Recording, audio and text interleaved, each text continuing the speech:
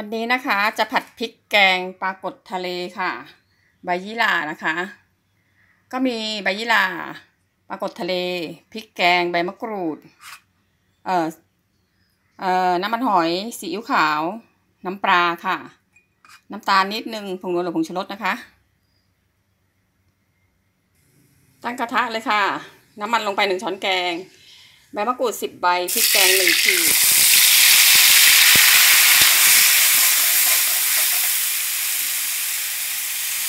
ต่อจากนั้นนะคะปรุงรสลงไปในปลากดทะเลเลยค่ะ น้ำปลาหนึ่งช้อนแกงซีอิ๊วขาวหนึ่งช้อนแกง น้ำมันหอยหนึ่งช้อนแกง น้ำตาลครึ่งช้อนกาแฟ ผงนัวหรือผงชูรสครึ่งช้อนกาแฟนะคะ แล้วก็เทลงไปในกระทะค่ะ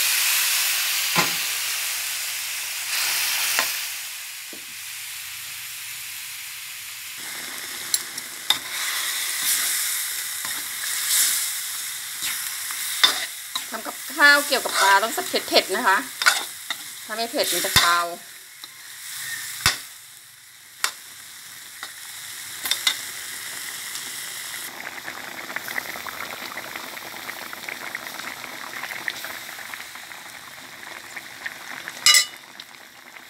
ปลาสุกแล้วนะคะ ใบยี่หร่าค่ะยี่สิบยอดใส่ลงไปเลย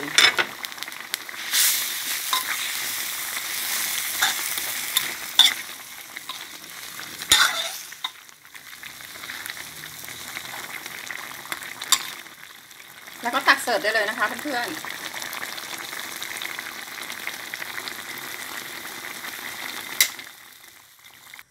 เสร็จแล้วนะคะ แกงปลากดทะเลใบยี่หร่าค่ะเพื่อนๆ มาค่ะ มาทานด้วยกันค่ะ